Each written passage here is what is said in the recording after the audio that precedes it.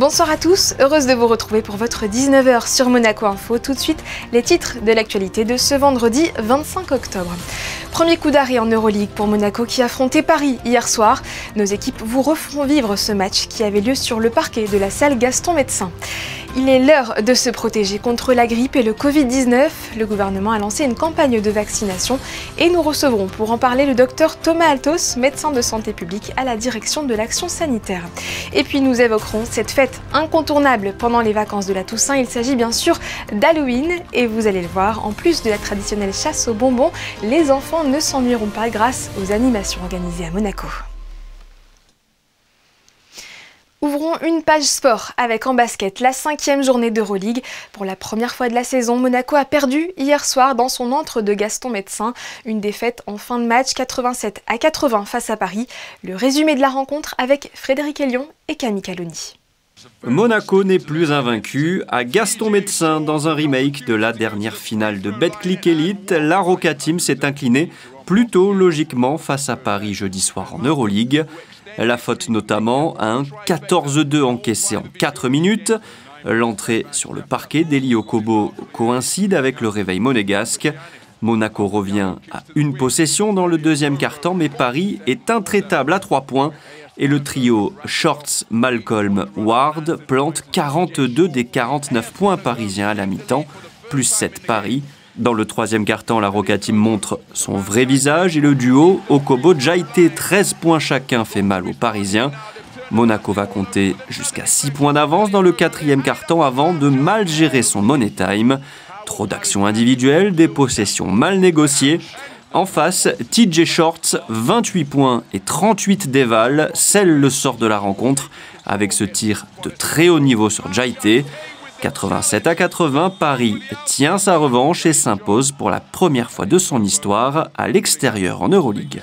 Um, as a group, um, I think we have to grow, we have to be better. Uh, there's too many complaining on the bench and, and this and that. Uh, uh, it's definitely right now, uh, it's not it's, it's, not fun to be where we are right now. I'm, uh, everyone understands that. So uh, we have to look at ourselves and uh, you know start from ourselves and you know try to build it up. Uh, we did it last year. It happened last year a couple of times. It happened right now. So the most important to to improve. You know, do better and uh, you know trust in each other. Ouais, elle fait beaucoup de bien. Euh, on joue contre une équipe euh, super talentueuse hein, que, que, je connais bien. Donc, euh, et puis venir gagner ici, euh, ils étaient invaincus jusqu'à ce soir. C'est pas mince à faire. Donc on, a vraiment, on a vraiment fait un, un, un très beau match. Raconte-nous comment tu as vécu ta soirée. On t'a vu très ému avant le match avec ce petit hommage. Voilà, globalement, comment tu as vécu la soirée ah bah c'était, je vous cache pas que c'était dur. Hein. Euh, J'essaie de contenir mes émotions tant bien que mal, mais, mais j'ai craqué et je craque pas souvent. je tiens à le préciser. Mais euh, ouais, ça a été, bah, ça paraissait un peu irréel parce que c'est une équipe pour qui euh, j'ai joué tellement de temps que euh, ça faisait bizarre d'être adversaire ce soir. Quoi. La Roca Team va désormais enchaîner trois déplacements consécutifs en Euroleague à Belgrade, Kaunas et Istanbul. Et on rappelle que le prochain match pour la Roca Team est prévu demain en Betclic Elite à 20h30 face à Nancy. C'est le retour ce week-end du derby de la Côte d'Azur, c'est du football cette fois. Monaco défiera Nice dimanche dans le cadre de la 9e journée de Ligue 1. Les footballeurs monégasques sont toujours invaincus et ils vont chercher à consolider leur place sur le podium. Je vous propose d'écouter Thilo Kerrer, le défenseur a pris la parole aujourd'hui lors de la conférence d'avant-match. On est dans une bonne dynamique, ça c'est sûr. Euh, maintenant, un derby c'est toujours particulier. Euh, et ce qu'on fait, c'est que on se prépare de la meilleure façon possible pour, euh, pour, euh, ouais, pour, euh, pour avoir le meilleur résultat possible. Je pense qu'ils ont un bon effectif, un entraîneur qui est arrivé avec le début de saison et aussi plein de changements en termes d'effectifs. Après, ça reste une équipe qui a, qui a de la qualité. Je pense que peut-être les résultats qu'ils ont eus dernièrement ne euh, montrent pas à 100% les performances qu'ils ont montrées. Du coup, euh, je vois qu'il y a de la critique euh, sur, sur, sur Nice, mais nous, c'est sûr qu'on ne les sous-estime pas et on, sait, on, sait la qualité qu'ils ont. Des propos recueillis par Alexandra Marangoni. Pour rappel, le coup d'envoi est prévu à 17h dimanche à l'Alliance Riviera. On l'a évoqué dans nos précédents journaux, la quatrième édition du tennis Europe Junior Masters qui a commencé mercredi dernier prendra fin ce week-end. 32 prodiges de la petite balle jaune s'affrontent en ce moment même sur la terre battue du Monte Carlo Country Club. Pour comprendre les règles particulières de ce rendez-vous, Bruno Tissière, l'un des juges arbitres, est au micro de Paula et moi. Il n'y a pas de nouvelles règles particulières cette année. Maintenant, il y a toujours les, mêmes règles qui s'appliquent dans tous les tournois. Euh, tennis Europe, junior. Maintenant, par rapport au circuit professionnel, par exemple, oui, il y a des petites, petites nuances. Euh, par exemple, euh, caractéristique, la fameuse règle du no let service rule. Qu'est-ce que ça signifie? Eh bien, habituellement, quand vous jouez et que votre service touche le filet, on annonce let et on rejoue le point, on vous redonne la balle. chez les juniors, c'est différent. le let n'existe pas. Donc, si la balle touche le filet, le point se poursuit. Alors, des fois, ça peut créer des situations dramatiques puisque si c'est sur une balle de match, la balle touche le filet, elle rebondit juste derrière le filet, jeu, c'était match. Cette règle-là, au départ, ils ont voulu la tester chez les juniors, chez les jeunes, pour éventuellement après l'appliquer sur le circuit professionnel. Finalement, chez les professionnels, euh, ça n'a pas été adapté et malgré tout, ils l'ont laissé chez, euh, chez les juniors. En règle générale, sur le circuit junior, euh, nous sommes là. Alors quand je dis nous, c'est le juge arbitre, les arbitres de chaise pour, pour aider les jeunes, euh, pour les habituer au circuit professionnel qui les attend, euh, et en tout cas pour ne pas les réprimander, je dirais. C'est-à-dire que lorsqu'un joueur se comporte mal, euh, tout de suite sur le circuit professionnel, il sera sanctionné par une amende. ici, non. Ici, si quelque chose se passe mal, on va en discuter avec le joueur. On va lui dire, écoute, ce que tu fais n'est pas une bonne chose. On va vraiment aller dans ce sens de, l'éducation. Après, jouer ici au Monte Carlo Country Club pour tous ces jeunes, c'est vraiment quelque chose de, fantastique. Ils se sont battus toute la saison euh, pour décrocher leur, leur billet ici, euh, jouer dans un cadre exceptionnel, dans, un club qui est l'un des plus beaux au monde. Et quand on sait que les terres battues sont foulées par les plus grands joueurs du monde lors du Masters au mois d'avril, c'est évident que pour eux, venir ici, c'est quelque chose qui leur tient à cœur. Ne manquez pas les quatre finales demain, elles seront diffusées en direct sur Monaco Info dès 10h et commentées par Christophe Paco, Frédéric Elion et Laurent Orsini. Avec cette journée pluvieuse, on peut le dire, l'automne est bel et bien installé en principauté et qui dit baisse des températures dit retour de la grippe saisonnière et du Covid-19. Alors pour protéger les plus fragiles, le gouvernement princier vient de lancer une campagne de vaccination. Pour en connaître les détails, nous recevons le docteur Thomas Altos, médecin de santé publique à la direction de l'action sanitaire. Bonsoir docteur. Bonsoir. Merci d'être avec nous ce soir. Première question, qui est ciblé par cette campagne de vaccination? Les personnes âgées particulièrement, mais pas que? Absolument. Euh, vous l'avez dit, des personnes âgées de 65 ans et plus, mais également toute personne avec des maladies chroniques euh, est euh, susceptible d'être vaccinée et peut bénéficier de la vaccination afin d'être protégée des formes graves. les personnes ayant des maladies chroniques, je l'ai dit, mais également les femmes enceintes et toute personne vivant dans une institution médicale ou médico-sociale. Où pouvons-nous aller euh, se faire vacciner? Est-ce qu'il faut une ordonnance également? Alors, nous avons essayé, euh, avec le gouvernement princier, d'étendre euh, le nombre d'acteurs et les acteurs en charge de la vaccination de manière à pouvoir protéger le plus possible notre population. les médecins généralistes, évidemment, sont un acteur clé de la vaccination, mais pas seulement. les officines de pharmacie, les infirmières diplômés d'État sont également tout à fait autorisés à vacciner avec ou sans prescription médicale. Donc vous le comprenez, nous essayons réellement euh, d'élargir cette vaccination et de la rendre accessible au plus grand nombre. Est-ce qu'on peut se faire vacciner euh, contre la grippe et au même moment contre le Covid-19 Absolument.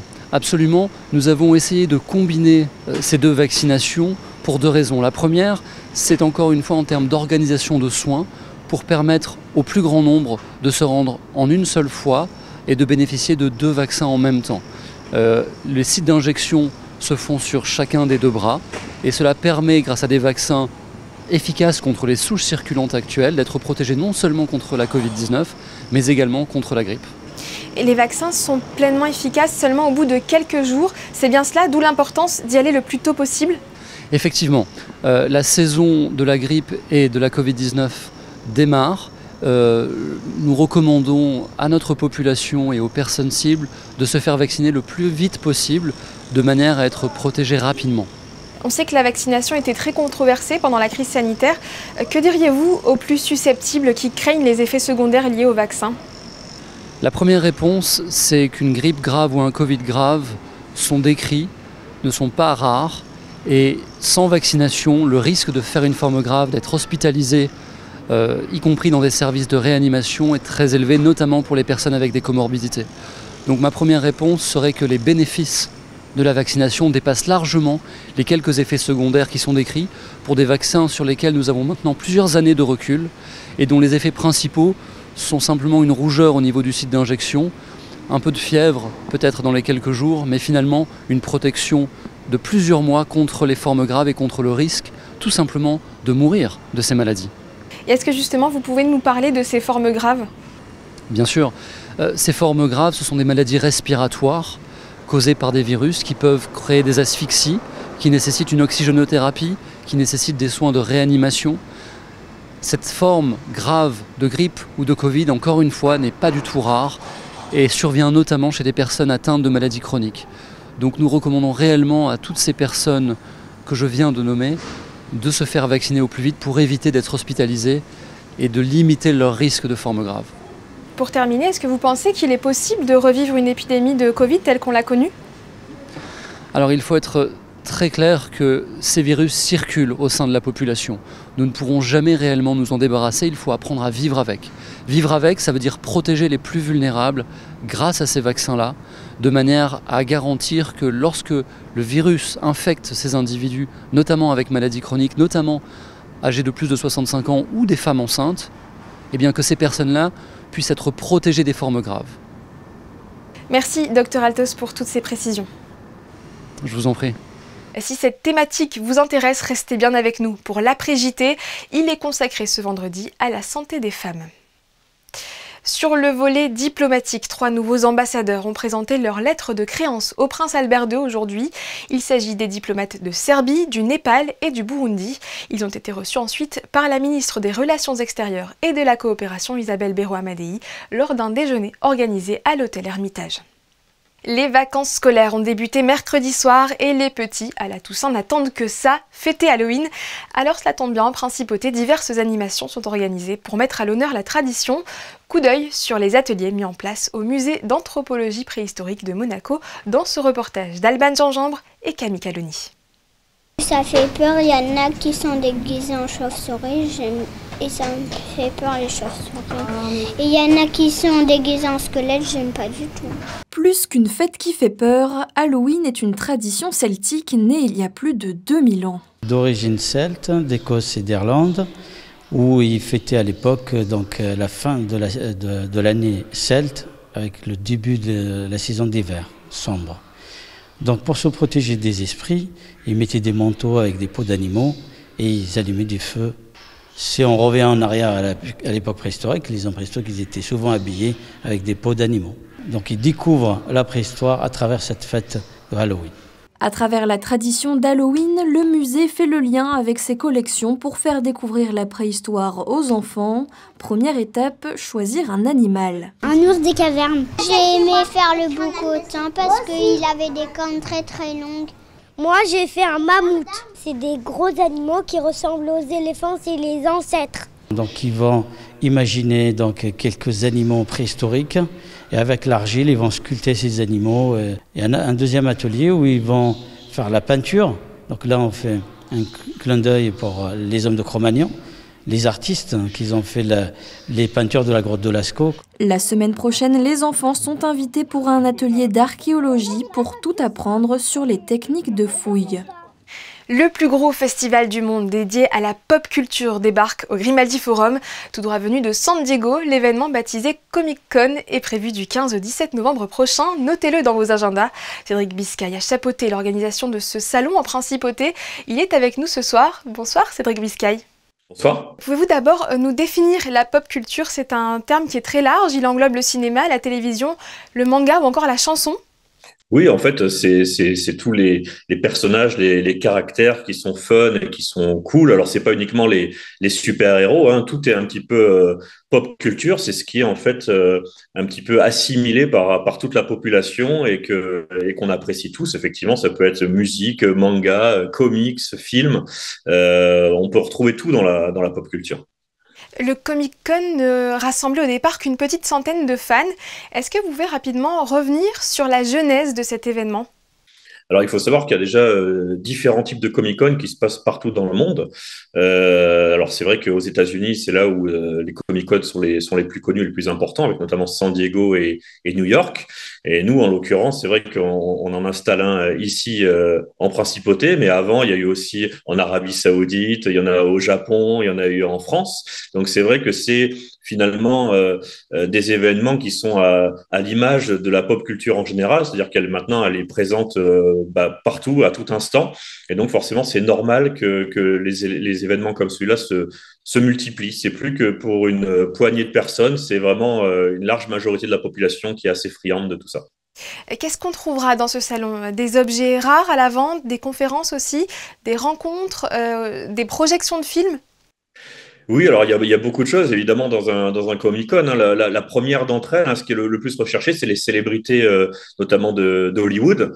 Donc, on aura une vingtaine euh, d'invités euh, américains de, de, de séries. Hein. Ça va de Charmed à Walking Dead, en passant par Vampire Diaries, etc. Enfin, toutes les grandes séries, évidemment, que, que, que tout le monde adore aussi des stands de vendeurs hein, qui euh, proposeront euh, des, objets euh, plus ou moins collector, des groupes de musique hein, qui viendront donner des, concerts notamment, une avant-première de film, je peux pas encore en, parler, mais on aura, une, avant-première aussi à ce, Comic-Con. En fait, c'est vraiment le, point de rendez-vous de tous les fans. Et puis évidemment, on pourrait pas faire de Comic-Con sans un grand concours de cosplay, et on aura des cosplayers célèbres qui viendront s'affronter sur la, sur la scène du Grimaldi Forum. Cédric Biscay, vous êtes architecte du salon euh, Magic depuis 10 ans. Quelles sont les grandes différences entre ces deux salons? Alors Magic, j'avais voulu à l'époque faire un, salon euh, fait par des fans, pour les fans et pour tout le monde. C'est-à-dire que Magic, c'était un, événement à entrée gratuite, ce qui ne sera pas le cas ici. Hein. On est euh, une machinerie à l'américaine, hein, donc on, on, est là aussi pour faire du, pour faire du business. Donc c'est la, principale euh, différence et aussi le fait qu'on est très orienté pop culture US cette année, euh, notamment bah, comics et euh, séries US, etc. Alors que le Magic, il y avait quand même beaucoup de contenu japonais. Ça ne veut pas dire qu'il n'y aura pas de contenu asiatique, notamment au Comic Con, mais cette année, on démarre vraiment côté US. Et ce qui va se jouer donc à Monaco en novembre est une sorte de mise en bouche avant un retour sur quatre jours en 2025, c'est bien cela? Alors c'est ça, parce que moi ce que je veux surtout pas, c'est décevoir les fans. Donc comme on a organisé ça en un temps record, euh, j'ai absolument insisté pour qu'on appelle ça euh, Comic Con Prélude, pour, pour bien montrer que voilà c'est un avant-goût de, ce qui va se passer d'énorme euh, l'année prochaine dans tout le Grimaldi Forum. Là voilà c'est un un galop d'essai pour dire ben voilà on a eu peu de temps pour organiser, mais on veut quand même montrer quelque chose à Monaco dès cette année. Et bon, on aura quand même, comme j'ai dit, de, quoi, euh, de quoi avoir quelques célébrités sur place. En, en termes de chiffres, est-ce qu'on sait euh, combien de visiteurs sont attendus? Alors, bah, nous, on aimerait bien avoir, euh, on va dire, 5000 visiteurs minimum par jour. Euh, c'est pas forcément quelque chose qui va être facile de la première année, surtout avec une, une version prélude. Mais en tout cas, on a mis toutes les chances de notre côté pour pouvoir euh, bah, faire connaître l'événement. La communication vient de, vient de démarrer. Et, euh, et, évidemment, on compte beaucoup sur tous nos, nos, célébrités, que ce soit les cosplayers ou les, les invités des, des, séries, pour relayer euh, l'information et, et, toucher le, le, maximum de monde. Cédric Biscay, on ne peut pas vous quitter sans un mot sur le tome 11 de Blitz, manga que vous avez créé et qui sortira prochainement. L'intrigue se déroule à Monaco, je crois. Alors oui, hein, tout à fait, parce que bon, c'est vrai qu'on avait, je ne veux pas spoiler pour ceux qui n'ont pas lu les, les, tomes précédents, mais on arrive pleinement à Monaco, c'est ce que nous laisse penser la fin du tome 10, et c'est une réalité. Et c'est vrai que euh, Blitz, c'est une aventure qui se passe entre le Japon principalement et Monaco, sauf qu'à partir du tome 11, on est pleinement à Monaco pour quelques tomes, et donc on va faire intervenir quelques célébrités euh, locales dont je ne vais pas encore parler pour le moment, puisque la, sortie du tome est, prévue à peu près pour la fin, fin premier trimestre euh, 2025. Notamment, je voudrais la faire coïncider quand même avec le, début de l'exposition universelle qui aura lieu à Osaka. Euh, c'est un, un clin d'œil sympa. Et puis, qui sait, peut-être que j'aurai la possibilité de, montrer ce, ce, manga, comme j'avais pu le faire à l'exposition universelle de Dubaï, sur le pavillon euh, monégasque. On l'espère. Merci beaucoup Cédric Biscay d'avoir répondu à notre invitation.